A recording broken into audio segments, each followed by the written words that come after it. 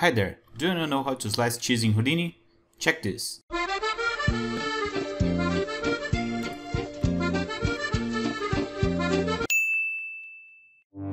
Hi, in today's videos we'll create this interactive boolean tool that could bring up a lot of creative and artistic control over our fractures.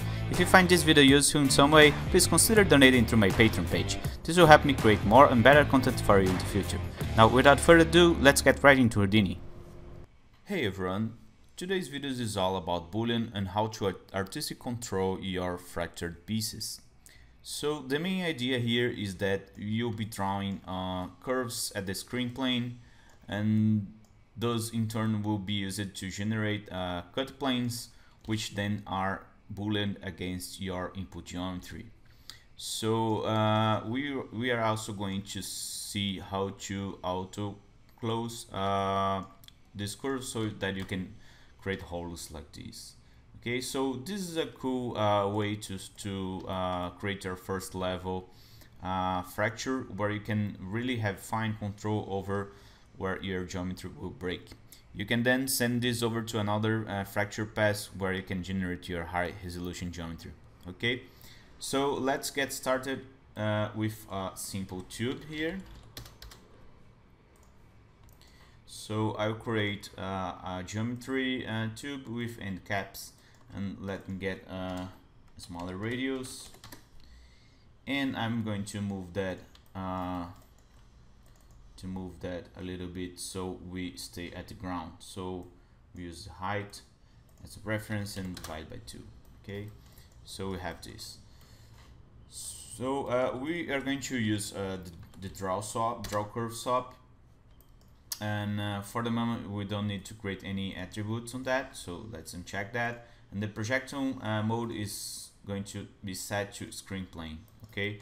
So you can see you are now drawing uh, and it, it orients to the screen. So um, now that you have this uh, this stroke, we can just uh, resample that.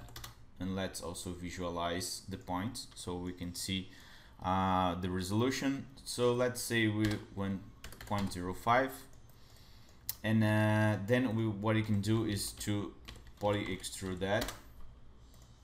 And let's use the extrusion mode uh, point normal and let's say distance is 2 okay so that's what we have. So we have uh, halfway uh, through through the object we need to do the other side. So let's do another poly extrude and just uh, give it a negative distance and then you have both it's just uh, a matter of merging bo both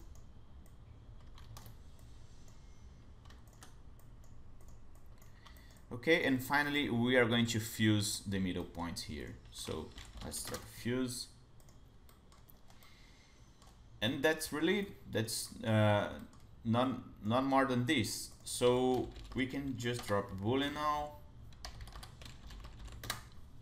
So we're going to boolean the tube with the planes. And uh, set B as uh, a surface because it's an open uh, open plane. And operation will be shatter and uh, we are not going to the, the triangulate polygons. So and also we are going to uncheck collapse tensing adjacent edges so here we have our geometry and we also uh, have two, two separated pieces. Let's visualize that with an exploded view node. So we can check it's working and let's turn down the scale here. And that's really it. Now you can just just draw your uh, cut planes and it will slice your geometry. Okay? So we can visualize that um, better with uh, let's color code the pieces. So for that let's drop a connectivity node and uh, set that to primitive and the attribute name I'm going to call that island okay so let's drop a color node. And color type will be random from attribute and I'm going to uh, use the island attribute. And the class is primitive okay so now you can see you have your pieces here. So now that you have that uh, we can just uh, assemble that to get some packed geometry and is going to throw us an error because we already have the name attribute so I'm going to attribute delete that. So uh, we have this working and uh, before that we are going to also drop a normal node so that it computes normals okay? So with this we can al already uh, you can already uh, input that into a DOP network. And let's create something really simple here. So just gravity force and a rigid body. Solver with a packed rigid body object. And that will be our first context geometry. Okay?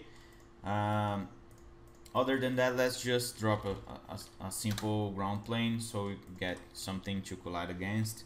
And let's merge that to the solver and just put that uh, first on on the queue okay so if you play that we already have our pieces working uh, you can then go and experiment with the attributes but for now I'm going to just uh, use that as a fun playground okay? So you can then go ahead and cut your geometry and do whatever you want. And you can see the boolean SOP is always very robust.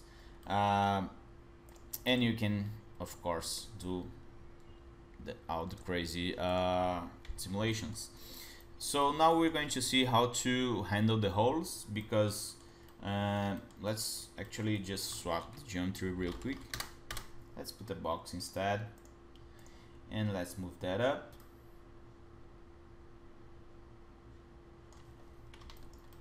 Okay and also I'm going to uh, squeeze that a bit. Alright so uh, let's clean our strokes here and also uh, untemplate this and let's create a hole here. And you can see uh, we are not getting another piece and that's because our curve is still open. So how can we close that? Well uh, let's start with uh, with this uh, simple curve and resample that. We can then uh, create a connectivity node so that we can separate the curves and let's uh, make that a primitive attribute. And attribute name is going to be uh, named Alan. Okay, so that with that we'll create a loop, uh, a for loop. Oh, or we can also create directly uh, for each connected pieces and it is going to automatically drop this uh, connectivity node for us. So let's use that instead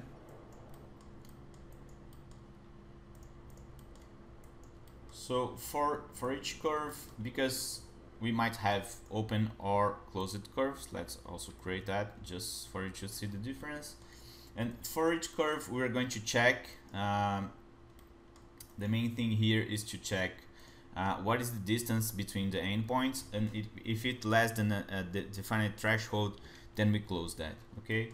So for that let's do a little bit of wrangling here. So attribute wrangle I will run over uh, detail only once and let's uh, get the start and end points so vector pt1 will be a point attribute at the input geometry uh, the attribute name is p and the point in index is 0. 0 point 2 same thing but uh, the point index will be npoints of the input geometry minus 1 so get the, let, uh, the last uh, point. Okay so the distance between the two float dist will be pt1 minus pt2 um, the order doesn't matter because we're just interested in, in the length of the vector. So length. Um, sorry length. Okay so we get the distance between the two points. We have we need to compare that against the threshold. So if our distance is less than or equal to uh, a channel uh, let's call that auto close dist then we are going to set a detail attribute that is going to be set at the input geometry and the name is close uh, value is 1 for true and uh, the mode is set. Okay let's create the, the channel and let's set the distance to 0.1 all right so the next step is to uh, trans uh, to transform uh, to delete the curves and stay with the point only. So let's drop an add node and we are going to delete, delete geometry but keep points.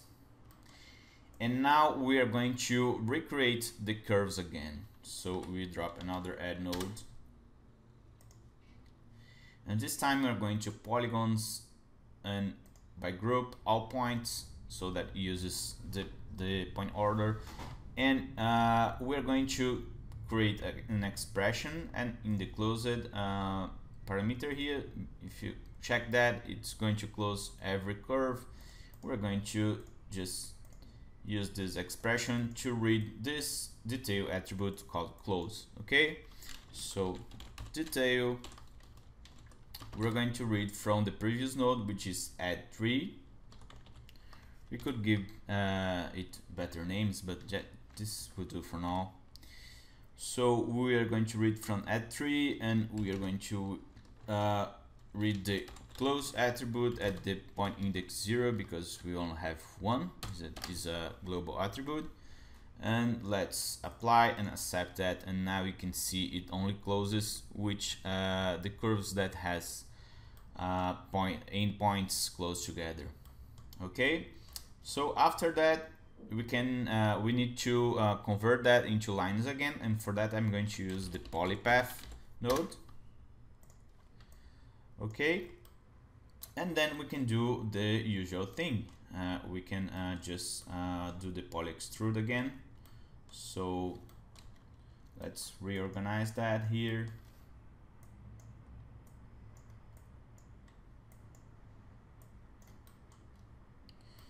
And we can uh, just uh,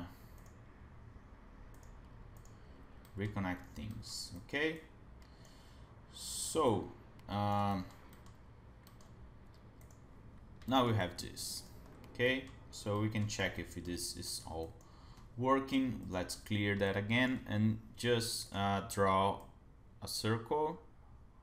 And you can see it auto closes and creates the hole inside this this box. And if you simulate that we can see it is working properly okay? So that's how you can create this kind of stuff. It's really really simple and it's so powerful and uh, together with this uh, robust boolean node in Houdini that makes a great way to uh, to get this first level of control over your, your fractures. Okay? So I hope you enjoyed this one. And again if you like my videos and if you find those uh, interesting uh, be sure to check my Patreon page and, and also help me uh, continue developing those for you. Okay so I see you in the next one. Until there, uh, have a great time. Bye.